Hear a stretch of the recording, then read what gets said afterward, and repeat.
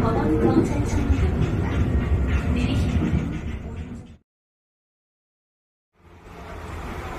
걷거나 뜨지